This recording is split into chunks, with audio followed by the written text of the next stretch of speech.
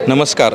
मी अरुण गोरपडे अध्यक्ष कोरेगाव तालुका प्राथमिक शिक्षक संघ. प्रथमतः कोरेगाव तालुक्यातील सर्व शिक्षकांच्या वतीनं त्यांच्यासह जिल्ह्यातील संपूर्ण शिक्षक वर्गाच्या वतीनं मी दैनिक प्रभातच्या वर्धापन दिनानिमित्त हार्दिक शुभेच्छा देतो.